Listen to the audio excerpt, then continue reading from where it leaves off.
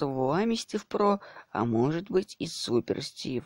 Ну, я почитав ваш комментарий под видео, в котором вы могли выбрать название моего канала, я понял, что я решил выбрать название именно Супер Стив, так как вы прилагали Шандов Лайм, Шандов Стив, просто Стив, Супер Диман, Диманчик, просто Диман, ну и другие всякие названия.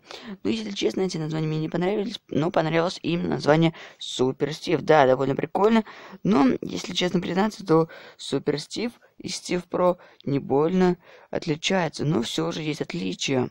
Супер Стив произносится более класснее, поэтому сейчас все зависит от вас. Либо выбирайте Супер Стив, либо мы оставляем опять же Стив Про. Чтобы выбрать Супер Стив, вы пишете название это Супер Стив, но если Стив Про, то пишите Стив Про. Ну и другого названия я больше не даю. Да, и все, на этом будет точка.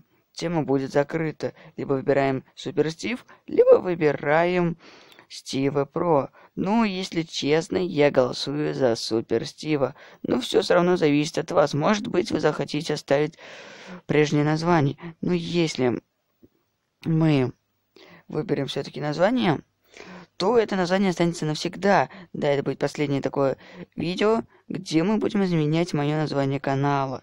Если останется Стив Про, то Стив Про останется на все время.